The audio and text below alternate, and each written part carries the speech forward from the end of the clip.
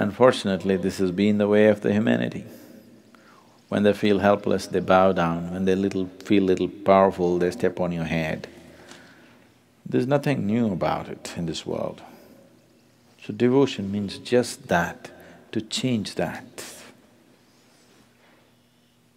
That you do not choose whether situations or people to… as to how you are. You are the way you are. That your way of being is not any more determined by who is standing in front of you. That's the idea of devotion. Everything else, whatever other values you know, other ways of behavior you know with people, always is determined by who's standing in front of you right now and what kind of situation are you in right now. Devotion means just that. Somebody is there, nobody is there, whoever is there, whatever the situation, you are still the same person. This is the best way to establish your way of being. Right now, that's the whole problem. You are still too much of a flux. When you're so much of a flux, how to take you anywhere?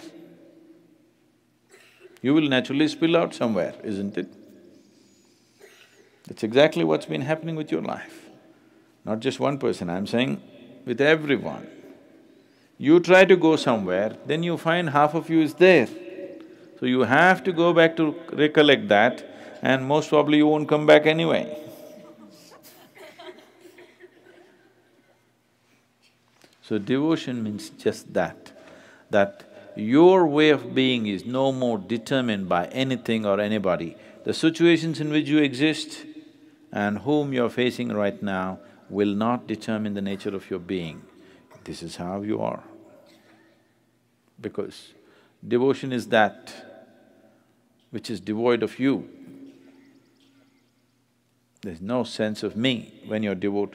If you constantly bow down to everything, genuinely, not as an exercise, not because somebody has told you, genuinely if you bow down to everything that you see within yourself and outside of yourself, then you will see there'll be no such thing as you left. When you're devoid of you, you're always the same.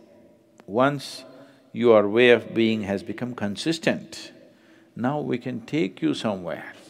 It's possible to move, it's possible to make a journey, otherwise the journey will be a deceptive journey. You will not go anywhere because you're too fluid. That's exactly what we're trying to change.